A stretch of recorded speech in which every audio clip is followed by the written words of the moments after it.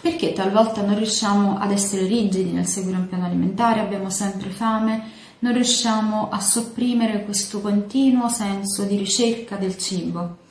La fame in realtà è un bisogno fisiologico, quindi molto spesso non si tratta di vera e propria fame, ma si tratta di appetito, molto spesso appetito nervoso. La fame possiamo dire che sia uno stimolo di base che ci spinge verso la ricerca del cibo per la sopravvivenza e quindi ci spinge verso la ricerca del cibo elaborando anche delle strategie per procurarcelo. Noi attualmente nella nostra società non abbiamo questa necessità, più che altro abbiamo quasi un eccesso di cibo, sicuramente abbiamo delle fonti alimentari molto ben disponibili e che non sono sicuramente carenti, almeno per quanto riguarda i paesi occidentali. Eh, invece abbiamo la necessità più che altro di procurarci un altro fattore limitante che in questo momento è presente nella nostra società, che è il denaro, che ci serve invece per comprare appunto le, i cosiddetti beni quindi quello che ci serve per la nostra sopravvivenza. Quindi è lì più che altro che agisce la nostra capacità di elaborare strategie. La fame comunque è qualcosa che viene determinata a livello del sistema nervoso centrale, quindi nel nostro encefalo, a livello dell'ipotalamo. Noi ricordiamo l'ipotalamo perché ne abbiamo parlato nel video che riguarda la tiroide e nel video che riguarda l'attività sessuale, quindi gli ormoni e tutto quello che agisce a livello del, dell'attività sessuale nei periodi di amenorrea, ad esempio, oppure nei periodi di menopausa. La, l'ipotalamo agisce però, determina eh, lo stimolo della fame oppure induce sazietà sotto l'azione di altri ormoni che sono eh, prodotti a livello dello stomaco, sono prodotti a livello del pancreas oppure a livello del nostro tessuto adiposo. Infatti ci sono due teorie principali, la glucostatica e la lipostatica,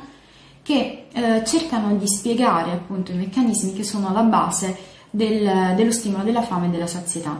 La glucostatica eh, sostiene che alla base vi sia il livello di glicemia, il livello di zucchero nel sangue, la glicemia quindi, che se scende al di sotto di un certo livello eh, di guardia, quindi, innesca lo stimolo della fame. Se invece il glucosio rientra in un certo range, in un certo eh, livello, e quindi è sufficiente a livello del sangue, non è necessario mangiare e viene inibito lo stimolo della fame. La stessa cosa fa il tessuto adiposo nella teoria lipostatica, cioè i centri della fame e della sazietà sono influenzati dai livelli di grasso corporeo, quindi se ce n'è abbastanza, se è sufficiente, allora eh, il cervello eh, riceve un segnale di inibizione della fame. Se le riserve del tessuto adiposo scarseggiano, invece si viene spinti verso il cibo, il cervello invece produce stimoli verso, verso gli alimenti, quindi fame. Valgono entrambe le teorie perché eh, una agisce più nell'immediato, quindi tra un pasto e l'altro, la teoria glucostatica, la teoria lipostatica agisce più nel medio e nel lungo periodo, quindi sulle nostre riserve eh, di energia a livello del tessuto adiposo. Per giustificare, quindi per avvalorare questa teoria lipostatica, è stato scoperto in realtà anche l'ormone leptina, che è molto importante e che è prodotto dal tessuto adiposo. La leptina eh, agisce quindi a livello dell'ipotalamo, che ricordiamo controlla anche la sete, la temperatura corporea, eh, l'attività delle gonadi e la tiroide. Quindi la leptina agisce sull'ipotalamo perché nell'ipotalamo ci sono queste strutture dette recettori che servono a raccogliere questo ormone che è la leptina. Quindi se non ci sono queste strutture che possono raccoglierlo, in realtà la leptina potrebbe anche non essere utilizzata, quindi praticamente eh, non riesce ad essere utilizzata per eh, indurre appunto il senso di sazietà. Per cui avere alti livelli di leptina e non avere sufficienti recettori a livello dell'ipotalamo significa comunque ehm, avere una scarsa azione di questo ormone. La sintesi di leptina diminuisce quando diminuisce il tessuto adiposo, in particolare gli adipociti bianchi. I livelli di leptina invece aumentano dopo i pasti, sono maggiori nelle persone, eh, negli obesi praticamente, e sono inferiori invece nelle persone magre. Però sembra che le persone magre abbiano una maggiore sensibilità rispetto a questo ormone rispetto agli obesi che hanno una scarsa sensibilità, probabilmente proprio a livello dei recettori che non riescono a raccogliere questo ormone oppure sono poco presenti a livello dell'ipotalamo. La leptina regola anche l'attività della tiroide, quindi è molto importante anche per questo, facilita il ricambio delle cellule del sangue, quindi l'ematopoiesi, regola il sistema immunitario, a volte può addirittura scatenare malattie autoimmuni, regola la formazione dell'osso, per esempio, quindi l'equilibrio nel, nella formazione del tessuto osseo e il sistema riproduttivo. E inoltre regola anche la secrezione degli ormoni sessuali, quindi vedete quante cose importanti riesce a fare il nostro tessuto adiposo, che è scarsamente considerato molto spesso quando si tende a, a, a dare molta importanza al tessuto muscolare, quando invece anche il tessuto adiposo è molto importante per tutta questa serie di regolazioni ehm, e non soltanto per la regolazione della fame e della sazietà praticamente. L'ormone eh, opposto viene definito grelina ed è prodotto dal pancreas ma principalmente dallo stomaco, è molto importante anche nei processi di apprendimento perché anche nel nostro sistema nervoso centrale a minima parte viene prodotto questo ormone. E ha un effetto cosiddetto oressizzante, mentre la leptina ha l'effetto anoressizzante, cioè la leptina induce la sazietà, la grelina induce la ricerca del cibo, la fame, e diminuisce anche il consumo energetico, quando invece la leptina aumenta la nostra spesa energetica, cioè quando noi abbiamo riserve di grasso corporeo, il nostro organismo pensa che può tranquillamente eh, riuscire a spendere di più da un punto di vista energetico, proprio come quando noi abbiamo un conto in banca eh, molto sostanzioso e riusciamo quindi a pensare di poter fare alcune spese in più. Nel digiuno abbiamo alti livelli di grelina e abbiamo alti livelli di grelina anche nelle persone bulimiche, quindi questo è un indice di una mancata regolazione a livello di questi ormoni.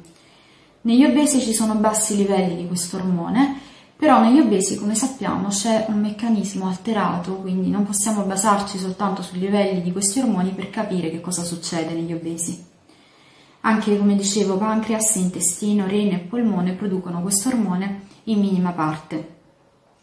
I livelli di grelina salgono quando si ha una restrizione del sonno, quindi quando si dorme poco perché si ha più appetito, come ben ci accorgiamo spesso quando abbiamo una scarsa, abbiamo una scarsa qualità del sonno oppure dormiamo poco. Inoltre ci sono delle situazioni fisiologiche di aumento della grelina in fase di crescita tra, nei ragazzi tra i 9 e i 12 anni, oppure durante la fase dell'adolescenza, principalmente nei maschi, in cui una fase in cui sembra che i ragazzi abbiano continuamente fame, sembra che niente li possa saziare, e quello è proprio mh, mm, il fatto che producono costantemente grelina. Poi durante la gravidanza c'è anche questo, questo alto livello di questo ormone, in autunno e in inverno sembra che siano più alti i livelli di grelina per, a causa della mancanza di luce, per, perché ci sono meno ore di luce praticamente. E questo agisce sul nostro, ormone, sul nostro umore, sui nostri livelli di serotonina e anche altri fattori agiscono sui livelli di serotonina, quindi quanto più è bassa la serotonina in realtà più è alta la grelina, quindi quanto più riusciamo ad essere, eh, non riusciamo ad essere sereni e tranquilli, eh, tanto più la nostra grelina ci spinge ad avere fame. Durante le oscillazioni quindi di questa grelina, durante il ciclo mestruale, durante la menopausa si ha maggiore fame, aumenta quindi il desiderio di cibo, in particolare di cibo dolce. In caso anche per esempio di situazioni stressanti in famiglia, nel nucleo familiare, in caso di rotture sentimentali, lì aumentano i livelli di grelina e aumenta il cosiddetto appetito nervoso che indica molto spesso situazioni di solitudine, di scarsa autostima, di noia, di ansia. Queste sono tutte situazioni che si tende a compensare con la cosa più semplice, cioè con il cibo. Tra le cause anche della fame continua, o meglio dell'appetito continuo, ci sono eh, uno scarso apporto di proteine, che mm, molto spesso è la causa principale, perché noi con uh, le proteine riusciamo ad avere una ottima regolazione di questi ormoni, un ottimo ricambio di questi ormoni, quindi una produzione eccellente, ma se noi non diamo al nostro organismo le proteine giuste, ma anche i grassi giusti, non riusciamo a produrre e a regolare bene questi, eh, questi sistemi ormonali, queste forme di regolazione a livello organico. Inoltre, come vi dicevo, la mancanza di sonno eh, è una causa della fame e poi principalmente l'apporto continuo di zuccheri raffinati quando noi andiamo a introdurre costantemente alimenti con indici glicemici alti, andiamo a introdurre nel nostro, nel nostro, nella nostra alimentazione pasti con carichi glicemici importanti, quindi in cui magari sono presenti solo zuccheri, solo carboidrati. Pensiamo a una pizza senza neanche verdure oppure proteine vicino. Pensiamo a un piatto di, di riso e poi dopo aggiungiamo una frutta o un dolce. Sono tutti pasti molto zuccherini, molto eh, carichi di amidi, di zuccheri che tendono a far aumentare troppo rapidamente i livelli di glicemia nel sangue. Quando aumenta troppo rapidamente la glicemia nel sangue aumenta l'insulina e quindi la risposta ormonale ai livelli di zuccheri nel sangue. Se si hanno i picchi di insulina, subito dopo abbiamo i cali di glicemia e quindi questa situazione di ipoglicemia ci fa ritornare alla teoria glucostatica in cui se abbiamo un livello basso di glucosio nel sangue subito l'organismo risponde con una ricerca di cibo, con una fame e quindi l'ipoglicemia fa aumentare la fame. Quindi la strategia migliore non è fare tanti spuntini dolci, ma farli non dolci, ma a base di proteine, a base anche ovviamente di parte di carboidrati e di grassi. Insufficienti quindi quantità di grassi, soprattutto insaturi, fanno avere questa fame continua, quindi occorre mangiare noci, occorre mangiare uova, Occorre anche mangiare pesce grasso che viene eliminato dall'alimentazione quando invece è eccellente proprio per questi sistemi di regolazione. E occorre anche bilanciare, equilibrare e variare molto tra gli oli vegetali, quindi non utilizzate sempre l'olio d'oliva perché ci sono tante tipologie di oli che hanno diversi profili lipidici e che sono invece importanti per arricchire la nostra riserva di grassi. Cosa bisogna fare praticamente per evitare questi alti livelli di grelina? Bisogna soddisfare il nostro stomaco perché è lì che praticamente viene prodotta e talvolta viene prodotta in eccesso. Quando noi pensiamo a tutti questi disturbi del comportamento alimentare come possono essere la bulimia, possono essere l'obesità chiaramente, perché comunque l'obesità parte da una situazione di squilibrio a livello del sistema della fame e della sazietà. E ovviamente situazioni come per esempio l'anoressia. Eh, tutti questi disturbi del comportamento alimentare, noi li chiamiamo disturbi del comportamento, ma in realtà sono disturbi che partono soprattutto da una base fisiologica e nervosa, cioè da un alterato sistema di regolazione della fame e della sazietà a livello del sistema nervoso centrale. E perché si ha questo um, squilibrio? Proprio perché non si riesce a produrre bene questi ormoni magari con uno scarso apporto di proteine e soprattutto non si riesce a soddisfare bene i nostri succhi gastrici. Quando noi pensiamo all'alimentazione in base ai gruppi sanguigni, eh, ideata dal dottor D'Adamo, eh, diffusa, divulgata dal dottor Mozzi, che ha arricchito ulteriormente questa teoria,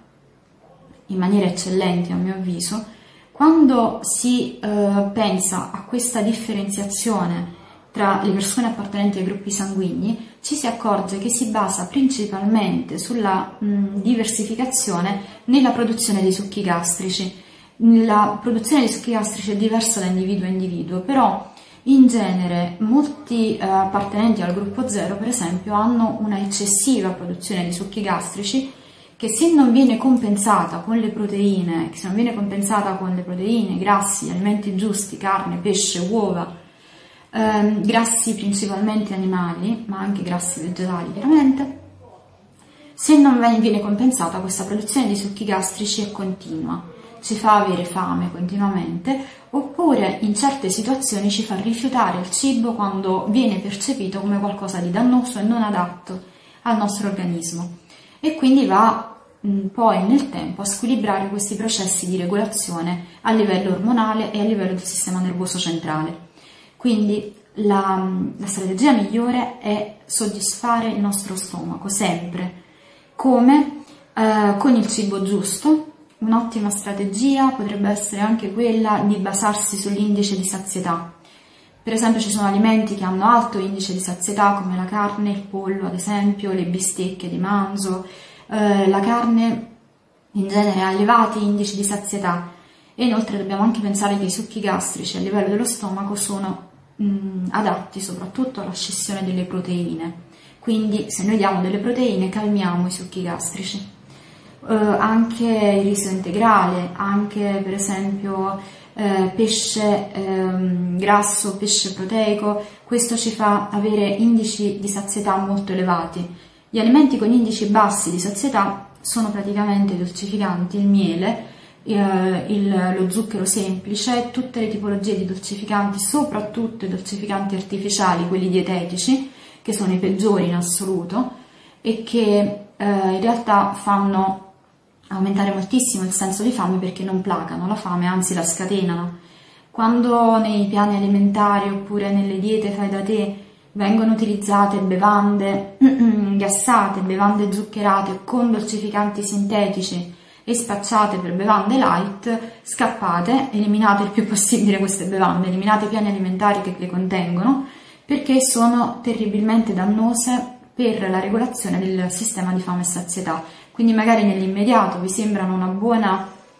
eh, una buona idea, nel momento in cui dovete per forza bere questa bevanda zuccherata e la preferite light, ma poi se la consumate spesso va a scatenare delle conseguenze terribili e devastanti per i vostri sistemi ormonali. Quindi eliminate queste bevande zuccherate ed eliminate anche tutte le bevande gassate perché le bevande gassate non aiutano la distensione delle pareti gastriche e quando le pareti gastriche non sono distese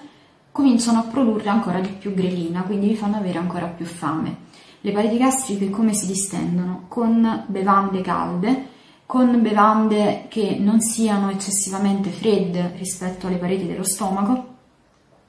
e che non siano zuccherate, non siano irritanti, quindi non bevande gassate, molto acide e non eh, neanche l'acqua gassata praticamente, quella anche eh, riesce a scatenare molto il senso di fame purtroppo.